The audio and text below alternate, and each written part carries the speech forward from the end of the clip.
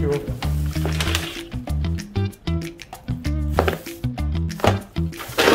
All right. So let's look at the 70 dirhams that we just spent on food. All right.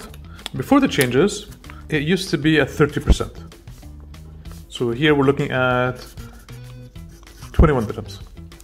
Now with the changes that were announced in February, it's different. Here we're looking at around 15%. You want to be specific, we're looking at between 7% to 20%, depending on the size. So if it's 200 dirhams, it's 20%.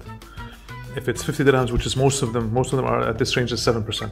So that means here we're looking at anywhere from 5 to 14 dirhams. So it's a big saving.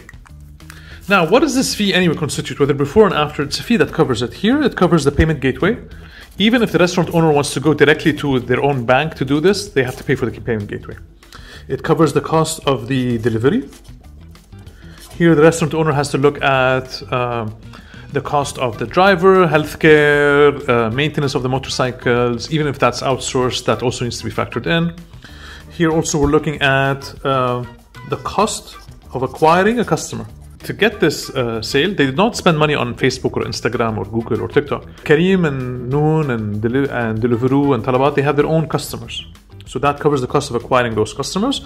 And you have the technology itself. So the tech itself, you have the driver app, you have the customer app, you have the restaurant app, you have the cloud infrastructure, and also there's the cost of the customer support. So that fee, which used to be 21 dirhams and then 14, covers payment gateway, delivery, uh, cost of acquisition, tech, and customer support. Before COVID, restaurants didn't care much about the online delivery. It was all supplemental, right? So it's an additional thing.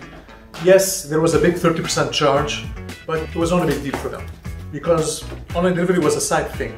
But after COVID, things have changed, right? So online delivery became their main thing. It's important for them that the, that the 30% that they pay be recovered. So that's why a lot more uh, companies came into the online delivery and uh, it was much more competitive than before. And of course, with the competition, prices are driven down.